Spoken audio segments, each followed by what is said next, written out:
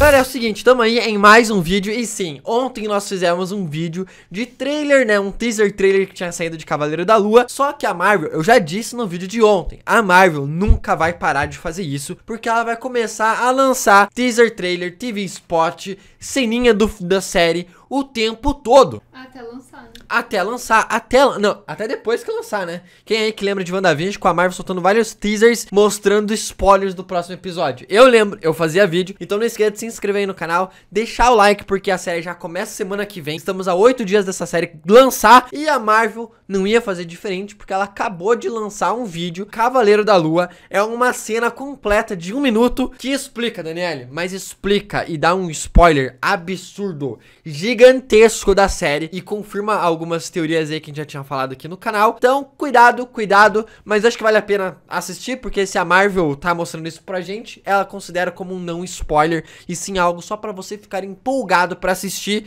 e a gente vai conversar bastante disso, vou explicar melhor quem pode de fato ser o vilão dessa série e por que que isso pode explodir sua cabeça. Então, se inscreve, se inscreve e deixa o like. Bora assistir, ó. Tá aqui aberto. Um minutinho de cena. Vamos assistir juntos, together. A mulher fala pra ele invocar o site, o traje. Ó, uma relíquia. Parece um bar, parece, né? Ou alguma coisa assim. O vilão tá ali. Olha isso, galera. Sério. Não, isso aqui já mostra muita coisa.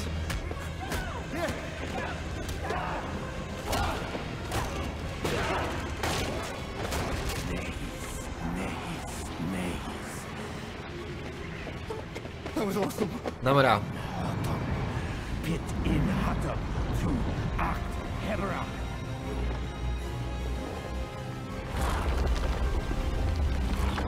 Olha, olha. Repare na cor. E olha o que vai sair. Sério, Daniel. Sério, isso aqui me deixou doido. Isso aqui deixa qualquer um doido. Primeiro, ó, ó, vamos falar. Essa aqui é amiga dele, que provavelmente trabalhava junto com ele, com o Mark Spector. Não com esse cara, com o Stephen Grant aqui. Stephen Grant, né? Essa aqui trabalhava com o Mike Spector e não com o Stephen Grant. O que acontece? Stephen Grant é o cara que trabalha no museu e que sofre lá com terrores psicológicos e tudo mais, né? E o Mark Spector é o cara que trabalhava como assassino, agente infiltrado, agente secreto ali de alguma corporação. Essa aqui era amiga dele de trabalho. Tanto é que nos quadrinhos ele tem uma relação com ela ali e tudo mais. Mas acho que isso aqui eles não vão abordar na série porque não faria sentido. Não sei, vai depender da Marvel. Enfim, ela fala para ele invocar o traje. Significa que ela já conhece todo o processo de Cavaleiro da Lua do cara e tá ciente e já deve trabalhar com o Mark Spector há um bom tempo já. Summon the suit? What are you saying? The suit. The suit. Aqui, ó, dá pra ver que ele é o Stephen Grant, porque ele não faz ideia do que, que a mulher tá falando. Tipo assim, invocar o traje, o que que tu tá, que, que, que tu tá falando? É isso. Essa relíquia que ela acabou pondo aqui, e mantenha isso seguro, é uma relíquia que já apareceu num, num videozinho que a Marvel lançou, que aparece justamente na mão do vilão. E provavelmente eles deveriam trabalhar numa agência secreta para este vilão. Aí eu tava dando umas pesquisadas aqui e eu pensei, por que não? Já que envolve relíquias secretas e tudo mais, tem umas histórias ali nos quadrinhos do Cavaleiro da Lua em que o Kang acaba voltando pro passado e querendo certas relíquias do Khonshu. Porque é mostrado para nós que o Khonshu é o deus do tempo também, além do deus da noite, o deus da vingança e tudo mais. E o Kang queria essas relíquias para conseguir controlar o fluxo do tempo melhor. Por isso que o Kang viaja para o passado e se torna lá um deus egípcio também, né? Um deus egípcio. E Khonshu acaba enfrentando o Kang lá no passado, invocando todos os seus antecessores, seus cavaleiros da lua antecessores todos que existem são ali invocados por Khonshu e acaba tendo uma guerra absurda contra o Kang e o Khonshu acaba conseguindo vencer. Ou seja, Kang é um grande vilão já do Khonshu. Agora, vamos continuar falando mais sobre isso aqui. So be it. Essa instalação aqui pode ser aquela mesma instalação que a gente acabou vendo no outro vídeo passado aqui no canal ontem, em que aparece o Cavaleiro da Lua lá com o traje e tudo mais, e ele tá batendo numas pessoas que tem um, um pasto, quer ver, ó? É, não, não é esse aqui, não é esse, acho que é esse aqui. Aqui, ó. Essa instalação que eles estão aqui parece ser muito parecida com essa aqui. Parece ser tudo no mesmo local. Eu acho que faz sentido. Isso aqui agora é interessante. O cara bota o cajado dele, que acaba criando uma magia, beleza? Magia roxa. O que é interessante dessa magia roxa aqui no universo Marvel? Cada tipo de magia é de uma coloração diferente.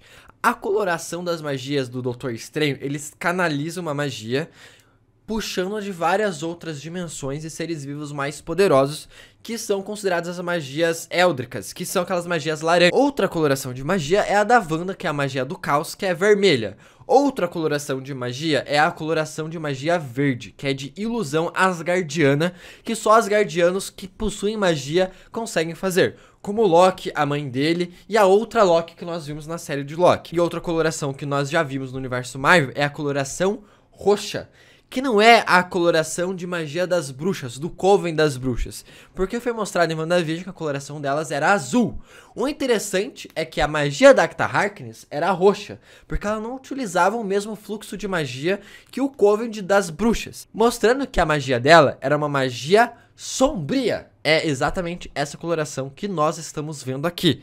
E muitos deuses, que são considerados deuses ali no universo da Marvel, acabam sendo os os detentores de certos tipos de magia e pode ser exatamente essa aqui. Agatha Harkness pode ter algum nível de conexão, pode ser pequeno, pode ser gigante. Não dá para saber.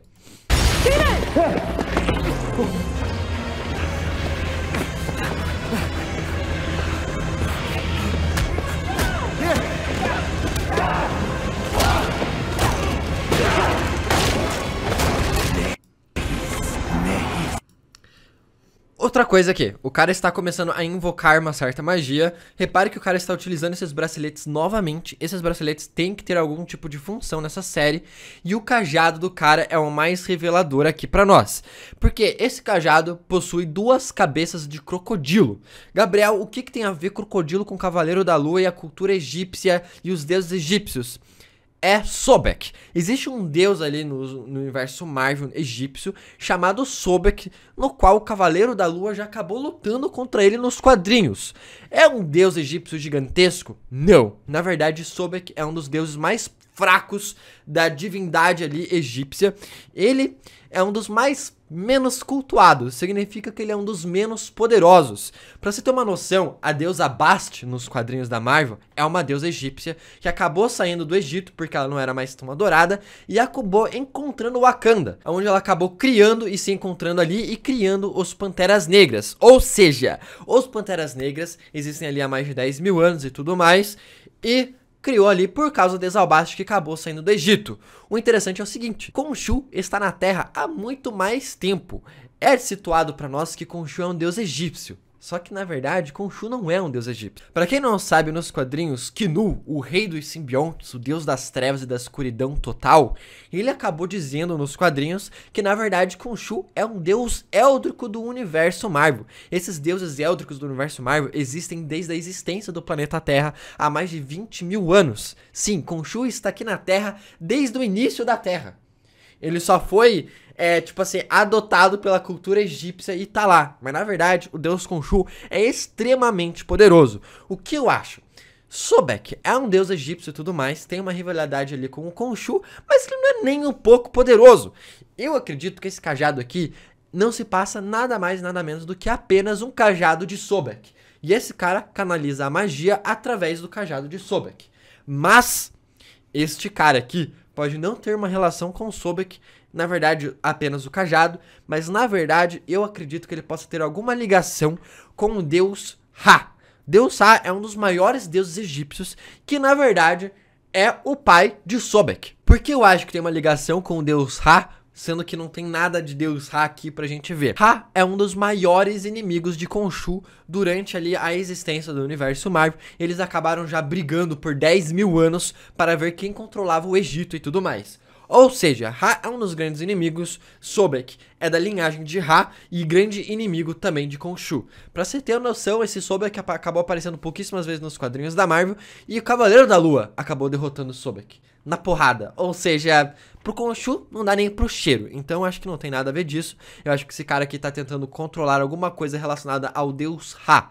E vale lembrar aqui, e mais um adendo. Fiquem bem atentos com algumas coisas interligadas com quem é o Conquistador e também é também com Ensabanur, que na verdade é o Apocalipse e acabou se tornando um deus no Egito, no, um deus no Egito, porque na verdade ele era um mutante extremamente poderoso, não tem nada a ver com deuses. Mas já acabou trabalhando também com outro, um, um outro deus bastante importante em toda essa trama, que na verdade é o deus Anubis. Esse sim é um deus de verdade e tem ou pode ter alguma relação aqui, ó, porque ó,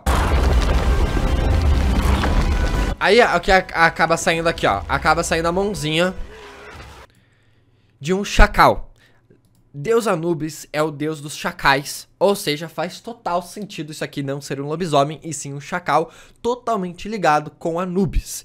É bem provável que esse cara possa estar invocando diversos poderes de diversos deuses aqui do Egito, o que eu acho mais interessante. Sobek não é o grande vilão, ele é só apenas conjura magia com o cajado de Sobek como um artefato normal canalizado ali por alguma magia. Igual em Doutor Estranho, tem a capa da levitação, tem o cajado lá do outro cara que se estica e tudo mais. Esse aqui é apenas um artefato que canaliza uma certa magia por ele, invocando ali os poderes de Anubis, só que esse cara, na verdade, trabalha pro Ra. É a minha teoria. Pode estar tá tudo errado, posso estar tá falando baboseira. Baboseira eu acho que eu não tô, mas a minha teoria pode estar errada. Eu só não acho que esse cara possa estar servindo Sobek, porque não é um deus tão poderoso assim no universo Marvel. Na verdade, é bem fraquinho. E pro Khonshu, não, não, sabe? Não daria pro gasto. Então, pode ser sim, na verdade, o deus Ha, que é grande inimigo de Khonshu e do Cavaleiro da Lua. Então, não esqueça de se inscrever aí, sempre que sair mais coisas sobre Cavaleiro da Lua, a gente vai estar tá trazendo aqui pro canal. Não esqueça de se inscrever, deixar o like, compartilhar pra galera. Até o próximo vídeo e... Tchica, tchica.